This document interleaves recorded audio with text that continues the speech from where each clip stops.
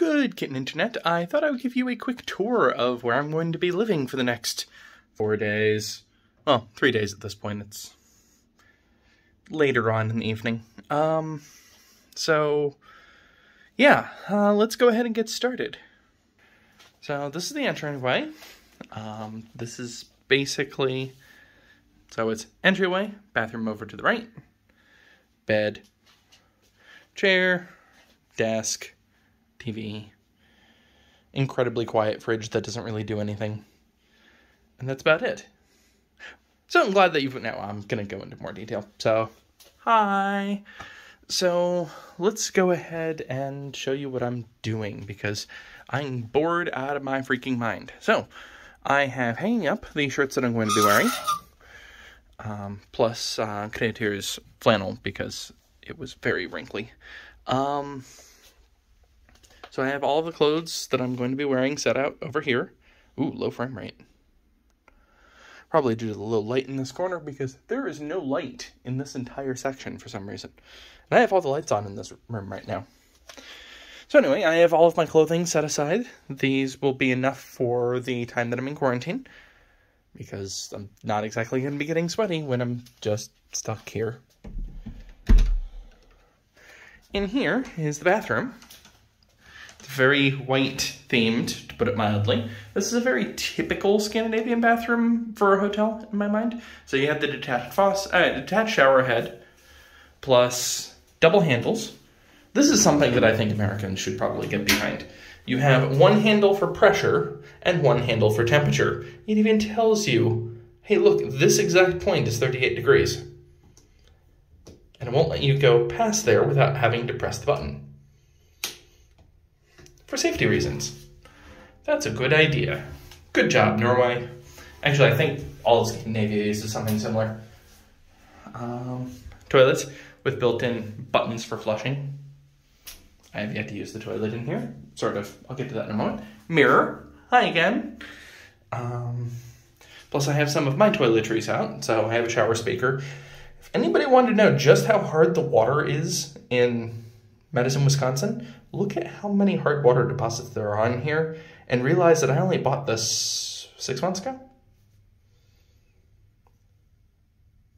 Yeah. Not great. Anyway, deodorant. Small tube of toothpaste. I might want to pick up a larger tube of toothpaste at some point. Beard trimmer. Callus remover thingy. Soap medication for the day. I love this little daily medication thing that I have. I'll show that more in a moment. Plus, we have places for hanging hand towels and so on. Not that I have all that many. Blow dryer, not that I need it, you know. My glorious hair and all, which is actually going to start growing out a bit because I didn't bring my regular razor. I only brought the trimmer with me. So, I only brought the trimmer because I was getting really concerned about going over capacity. Anyway, um, beyond that, we have a heated towel rack right here with a, hey, look, you should hang up your towel and reuse it to make Mother Nature smile. Plus a hand towel and a couple of cups. That's it for the bathroom. Let's go ahead and turn that off because there's no reason to have lights on when I'm not in the room. All right, going over here. This is actually where I'm storing my main suitcase. This is an anti-fatigue standing mat, by the way. Um, Createur bought one, not this one actually. I'm giving them mine, but they couldn't put it in their suitcase the last time they were in the U.S., so I brought it with me. By the way, this also doesn't fit in my suitcase. That's the reason why it's very wrinkly right now. It'll even out. Anyway, that's where all of my spare clothes and candies and snacks and so on for Createur and tea and a whole bunch of things are in that bag. This is actually my medication organizer. See? I can order however I choose. I each one of these is removable easily. And they have a sunny side for daytime pills and a not so sunny side for nighttime pills. And since I can organize it however way I want, it makes it quite a bit easier if I'm going on a week long trip, but not necessarily starting on a Monday or a Sunday. Plus, I'm trying to get used to um, European style of Monday through Sunday instead of Sunday through Saturday. I think the European style actually does make more sense. But it comes in this little cheap plastic case thing. Has little feet so it doesn't slide around super easily. It's relatively hardy. That's nice. Uh, passport, wallet. Uh, on the bed, there are two sets of lights one of which is for illumination, one of which is for specifically reading, and it's pointed at the chairs of respective sides. Speaking of the bed, the bed is okay.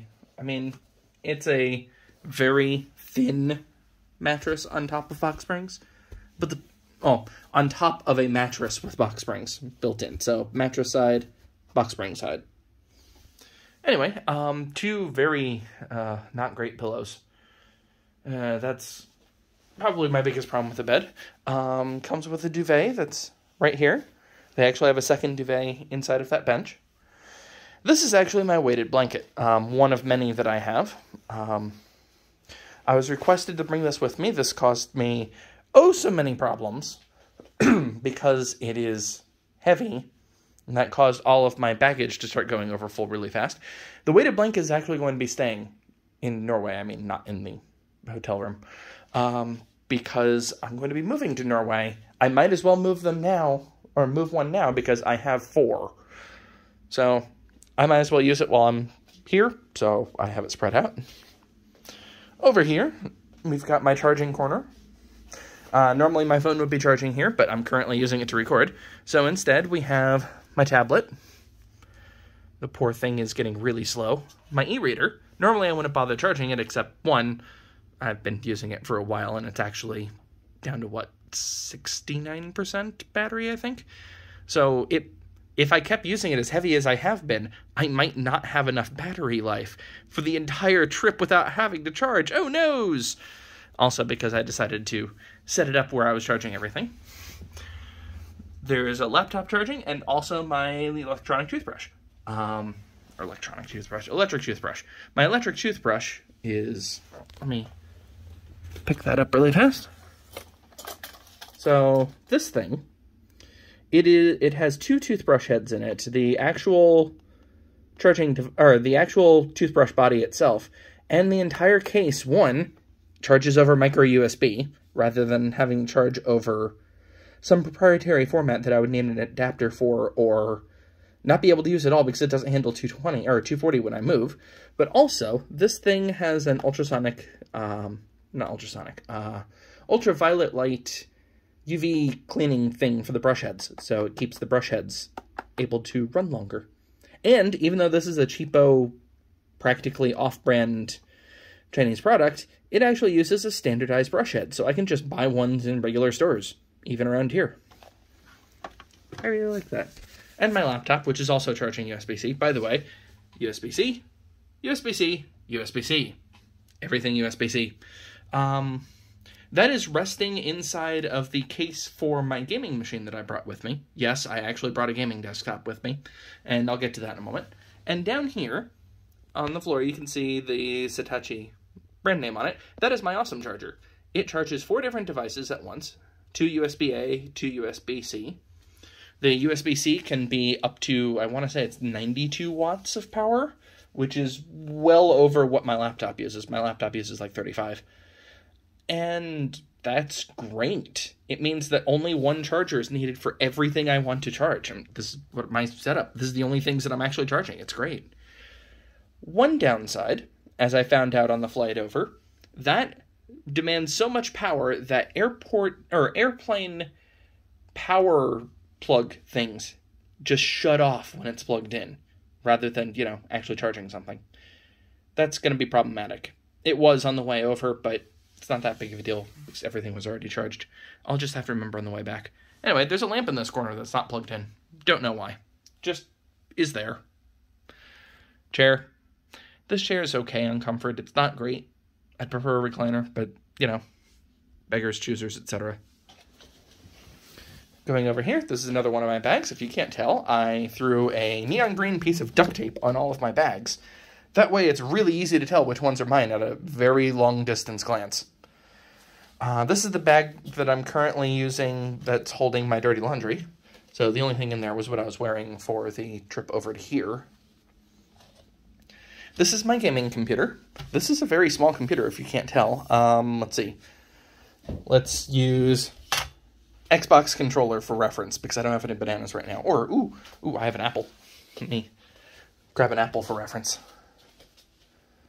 Apple for reference. So yeah, this thing is really small and it's compact and it's almost as powerful as my main gaming machine actually.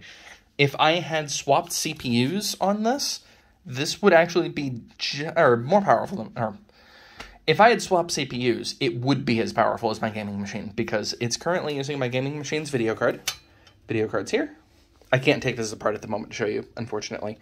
I did not bring my screwdriver set, and these require... Yeah, you're not going to be able to see that very well. Maybe that one? Kind of. Anyway, they're Star Driver.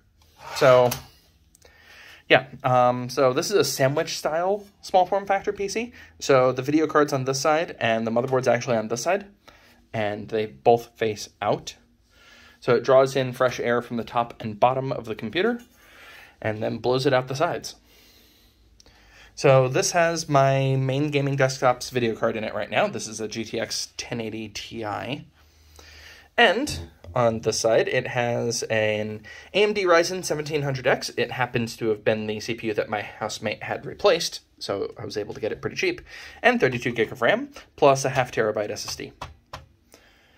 It doesn't really have room for much of anything else in it. There's also no front-facing USB ports, which is annoying, because wireless devices do not like to try to go through that. So, I have extension cables. This extension cable is for my Xbox adapter.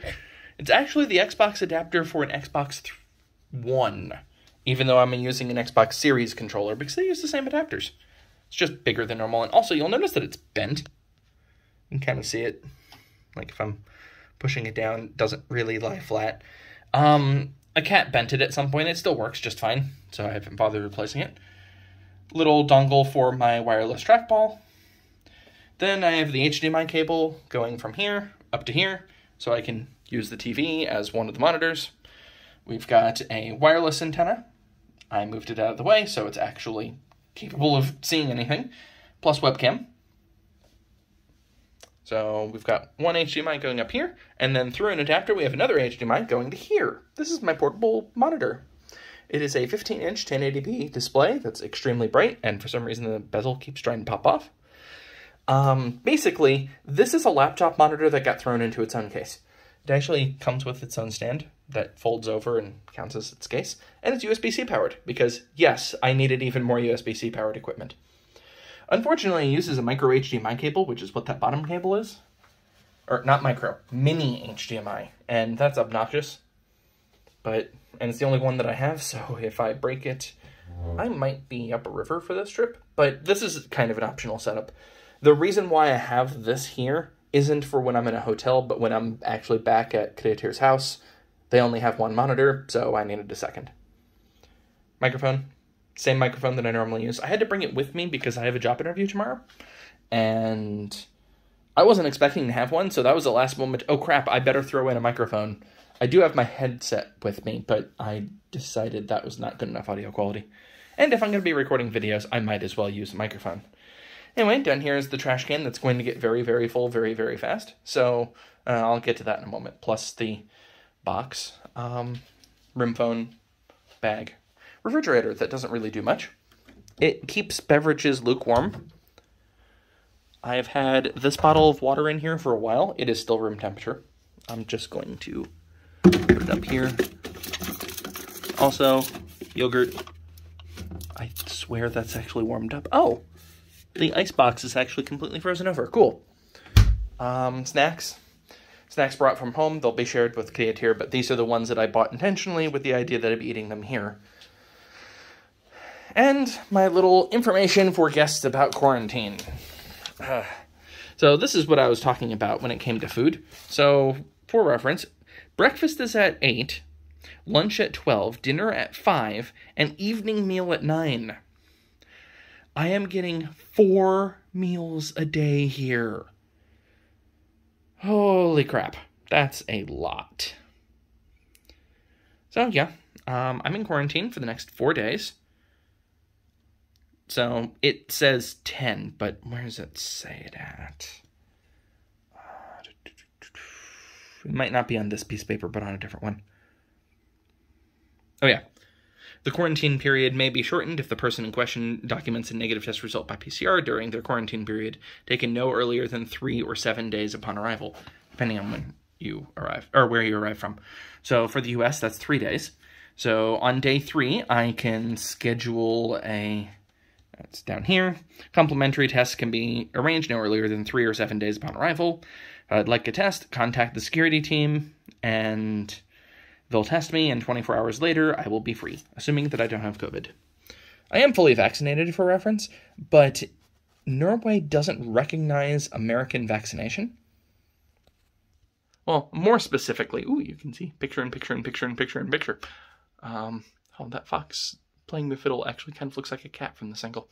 Um, Norway only recognizes vac- uh, proof of vaccination from countries in Europe, specifically the EU, the uh, Scandinavian Union, and the United Kingdom. So, or not the EU proof, which is actually being used by more European countries. Sorry, I'm having to reposition. My arms are really tired. Um, that are recognized by more European countries than the EU itself, but still, it's Europe. Which means they don't recognize American proof of vaccination. Now, to be fair, we don't have a federal proof of vaccination, but what they want is a digital and basically a piece of paper with a QR code on it that proves that you have been vaccinated. I actually have that. My healthcare provider provides it. But the only way that's valid is if I had a national ID number for Norway. Other European Union countries will accept American vaccination passport or, or American vaccinate proof of vaccination and then generate an EU passport. But Norway's not a part of the EU, so obviously they can't do that. Actually, they could, fun fact. But they choose to only allow their Norwegian proof of vaccination program to be eligible for people with residency numbers, which I don't have. I'm not a resident of Norway yet. So that means I'm in quarantine for four days. Yeah, I'm going to be recording a lot of videos. Speaking of, I forgot to mention, I actually did bring a tripod with me. That's actually my selfie stick that you've seen me use on a couple of videos. It is technically a tripod, or a monopod, I guess. I don't know. Does it count as a tripod when... It does have three feet, but they're really low to the ground. I mean, really low to the ground. Oh well. so yeah, that's about it. Um, the decor in here looks very familiar. In fact, I have watched a vlog about somebody's uh, stay of quarantine in Bergen in this exact room. And I've actually been in this hotel before, but not this room. I think that, hold on. I think that this map was actually on the wall behind me, and that picture was on this little hanging thing. I like maps. Anyway, that's about it.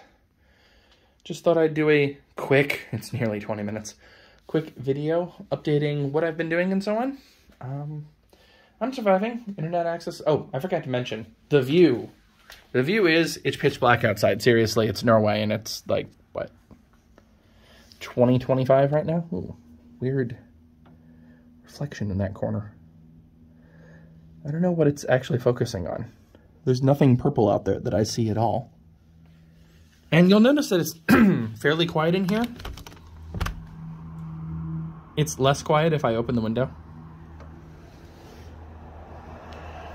This is as much fresh air as I'm going to be getting. Actually, I am allowed to go to the stairwell for fresh air, and I'm apparently allowed to go on for a walk once a day. We'll see if I'm going to end up doing that because the weather's kind of crummy here, and I'm really tired.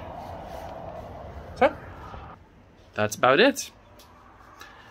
I'll be trying to record some Vandal Hearts, although I apparently didn't remember to save the actual disc for Vandal Hearts on my local machine. even though I have my save. So I may end up having to Yarhar the Japanese version and repatch the translation and also find the cover for the game because that's the other image that I'm missing. But let's be honest, what else am I going to do? Bye, Internet.